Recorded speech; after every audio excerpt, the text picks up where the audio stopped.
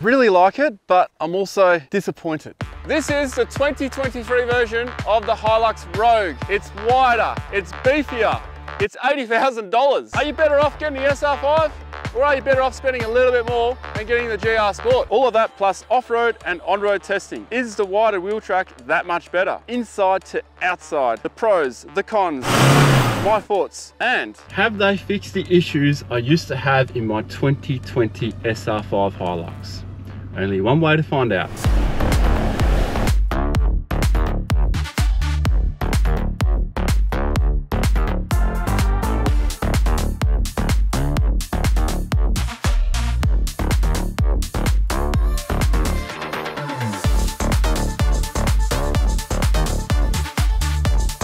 Zero to 100 test.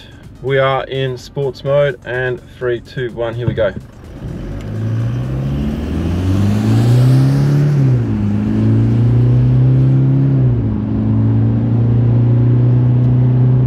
One hundred. Well, it felt pretty impressive. I was in sports mode. How does this thing handle on the highway? I would honestly say exactly the same as the SR5. Driving around town, you can definitely feel the wider wheel track as you're going around corners and stuff, especially if you're really giving it to it on the corners.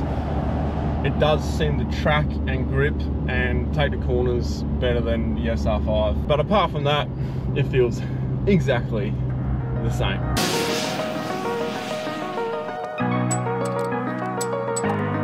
Probably wondering why I'm checking all the wheel nuts. You should always check your wheel nuts after changing tyres. This is my mate's car. Sean lent me this and he put some nice wheels on it. But I want to do the proper test drive with the stock wheels that it comes with. Tyre pressure, we've gone down to 16 PSI. These are 18 inch alloys, which I'm not really fond of.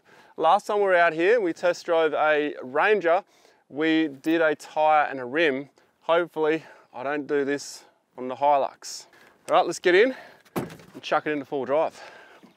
How do we get this beast into four-wheel drive? I've showed this before, so I'll do it really quick. Foot on the brake, start it up, it's an automatic. With four-wheel drive, you can be in drive or park or anything and it can put it into four-wheel drive. Four-wheel drive low, however, into neutral, push in, select four-wheel drive low. When you're in four-wheel drive low, you don't have to disable any traction controls or anything like that because that happens when you put it in low range. When you go back to high range, your collision sensors and all that are turned back on. Just be aware of that. All right, see what this bad boy can do. Kind of expecting the same thing really, but wider wheel track might actually behave differently off-road. I hope so. I'm just approaching the exact point I did a tyre last time and a rim on the 2023 Ranger. The Rogue being the up-spec model with off-road suspension, labelled as the off-road vehicle. Why are they putting 18 inch alloys and really weak road tires on these vehicles? I don't understand it. Just give people an option and make it actually four-wheel drive, not bloody piss weak road tires. I don't understand it. It's not just Toyota, it's every manufacturer. Every manufacturer. Aside from that, the gravel road handling was good. Really comfortable, really quiet. Couldn't hear any stones flicking up.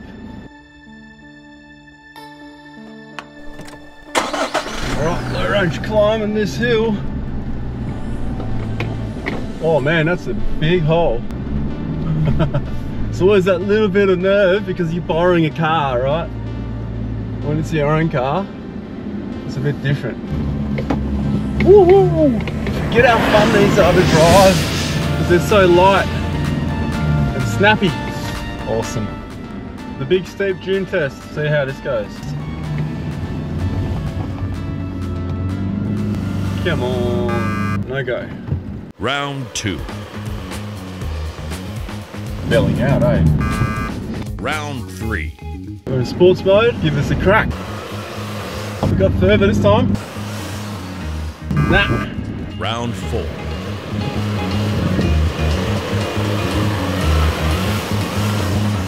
hey! We made it. All right, well, it made it up. It took four goes, but we got there. I was belling out five places.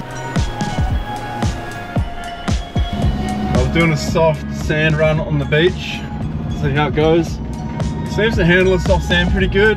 It's just where you belly out because of the small tires, you know. Suspension wise, slightly more clearance to the body, but I think the suspension feels pretty similar to the SR5.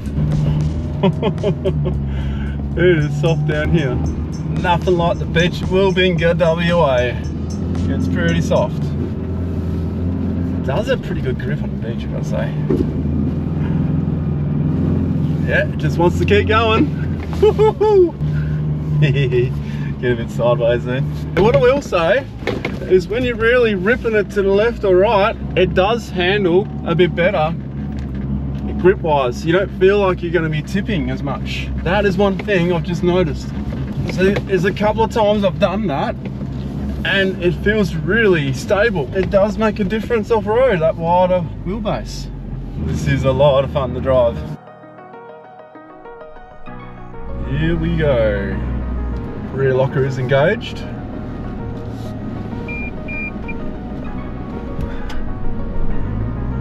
Oh! What am I hung up on? Try and take locker out because then I got traction control. See what that does.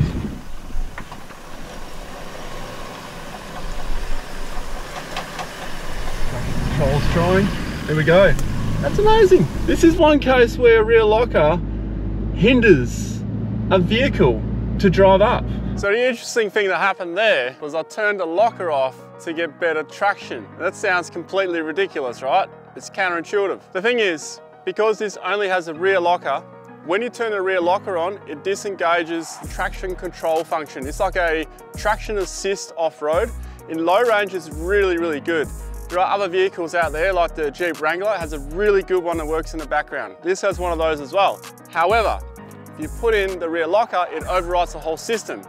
And the rear locker only assists the back of the vehicle. The back was hung up, so it was relying on the front to try and pull itself out. But because I had the rear locker in, the front was just not working. Getting the locker out, then turn that function back on, and that's how the front of this vehicle just gripped itself and pulled itself out. If they had a front locker in this as well, no problems. Front rear locker, it'll do a better job than the traction control would itself. Just something to know if you've got this vehicle and you've got the rear locker in and you, you just can't get out, try and turn it off, try again. And Toyota, if you're listening, perhaps on the next model, give it a front locker as well, or make the system work with the rear locker engaged.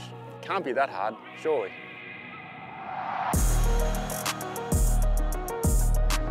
All right, job is almost a standing start.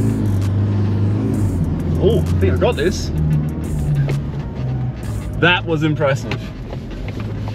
That was impressive.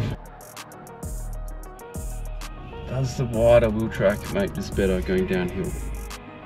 Got the rear locker engage.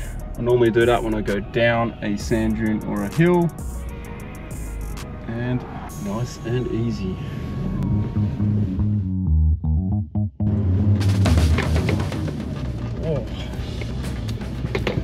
It's really lumpy here. It's like an ocean with lots of waves. Feel like being on a boat in rough seas. It does give you a core workout driving on that, that's for sure. Yeah, it's enough fun. Whew. Here's a chucksy around a bit here. Let's go back for more punishment. Oh yeah, that's unpleasant. Very humped. I need to go to the toilet now.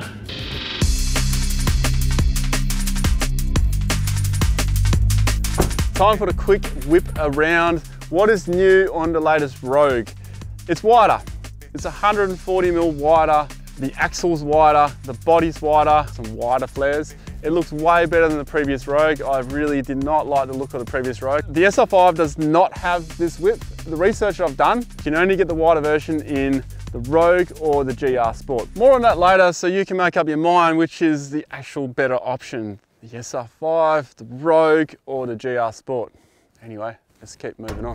2.8 litre four cylinder engine paired up with a six speed automatic. I had this exact engine for two years. I can tell you it packs a lot of punch. This has the same amount of torque and power.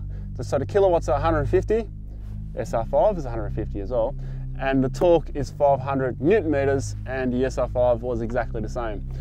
And it feels exactly the same when I drive this. I didn't tune my one either. I don't think it needs a tune. I used to tow with it. These engines actually push out quite a bit of power. One thing though, with the six speed gearbox, if you upgrade your tires, you are not going to use six gear very much. If you go up to a 33, which are illegal anyway, you will not have six gear ever again. Bye bye six gear. You are going to put bigger tires on this, stick to 30.5 inch, 32 at the max. Any bigger, you're going to burn more fuel and you're not going to reach that last gear. In low range, you'll find the gearing is really hard. It really grabs the gears. Exactly the same. SR5, Rogue, even this new one, same. You know about the wheels. 18 inch road tyres, not off-road tyres. I'd say that's full stretch on the Hilux Rogue.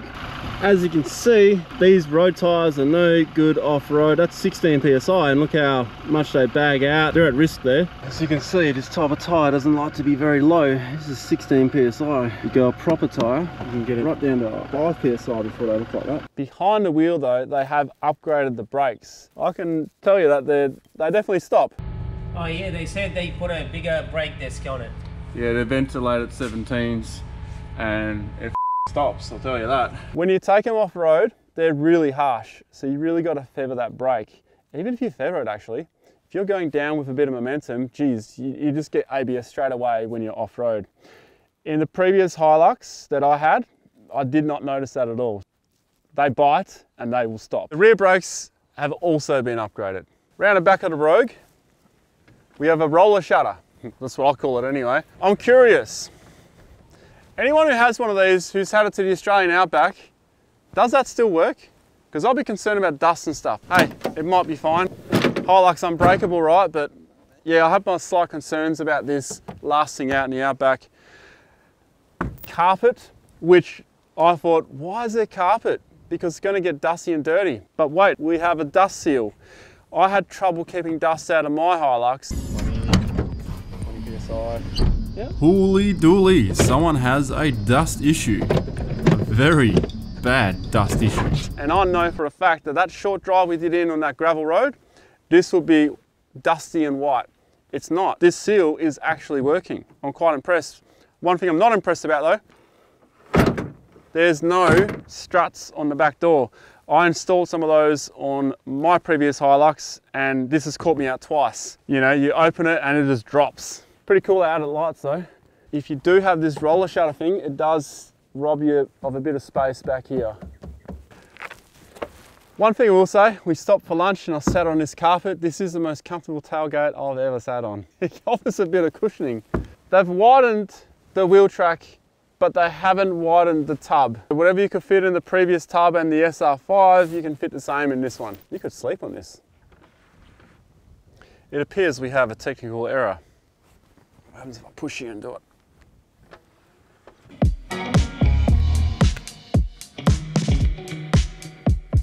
Welcome to the interior. This is very similar to the SR5, except for it has a way better sound system, but it kind of looks like an afterthought to me, having the speakers like that up there. Black carpet on the ceiling. The whole interior is blacked out. That is actually a really nice touch. I do like that. It's got leather seats, it's got heated seats. I will say there's plenty of room for kids. There's plenty of room for adults in the back. Like the SR5, it has six cup holders in the front. There's one over here, one in the door, there's two in the middle, and it's the same on that side. Sorry, kids, no cup holders except for in the doors. There's eight cup holders in this vehicle. Why haven't they given you USB chargers? So they're giving you two 12 volt Siggy plugs down here, which means you have to get a plug-in adapter yourself. I'm just curious why they did that. It's 2023.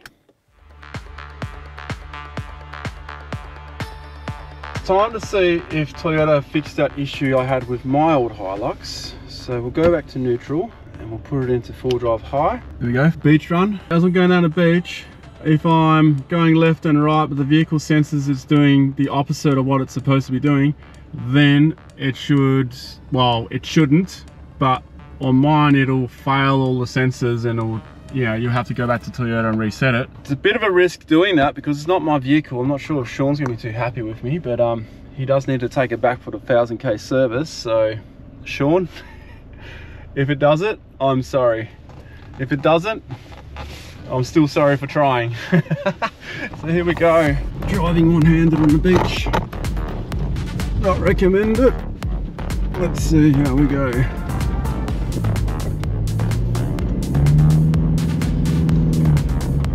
Struggles in high range, I will say that.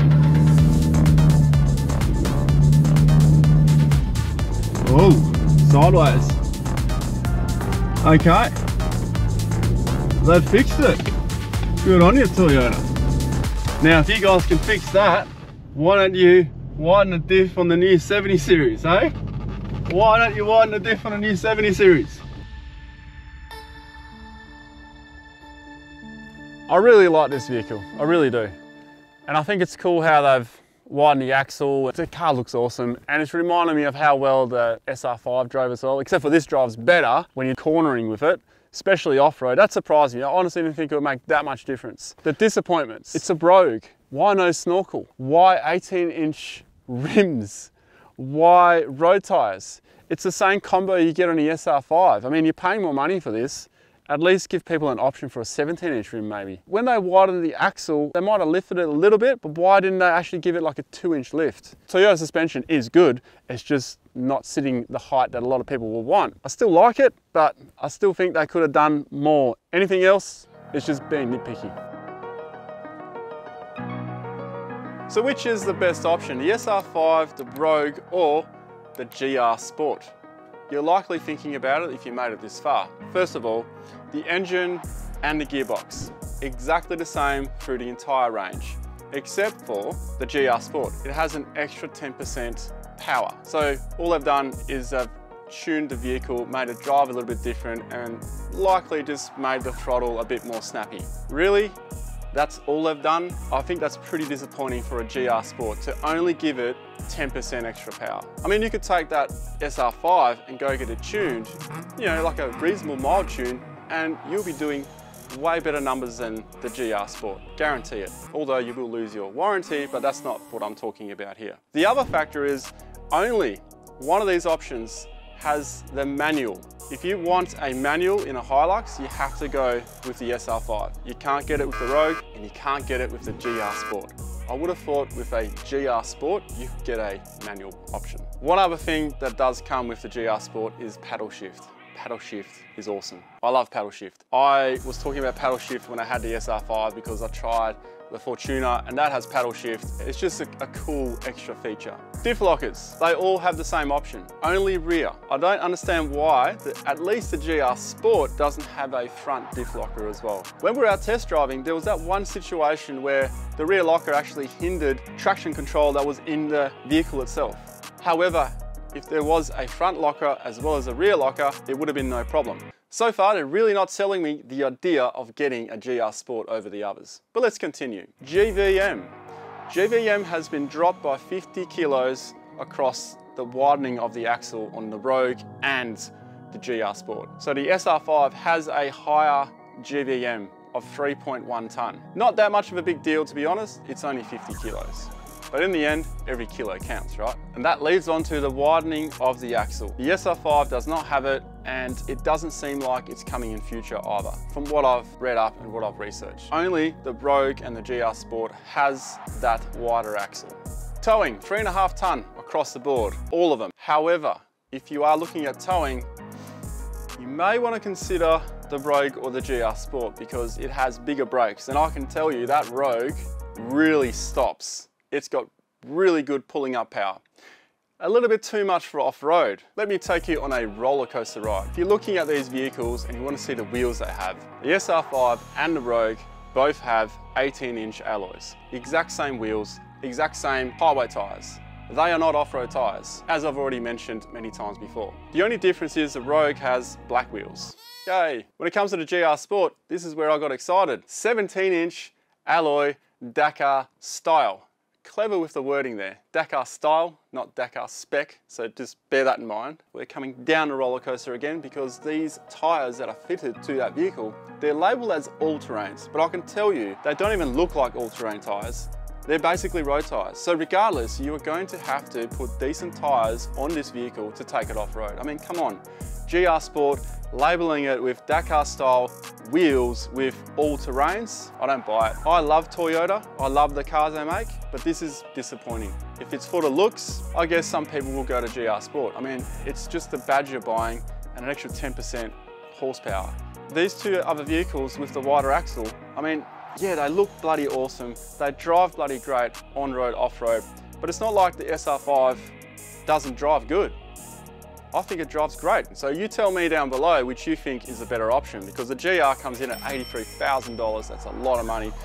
The Rogue comes in at $80,000. The SR5, $70,000. You're paying a lot more for a wider axle. Of course, these other two versions do look mint, I will say that. What do you think? SR5, Rogue or GR Sport? And do you think Toyota have dropped the ball with the GR Sport? On that note, it's time to go.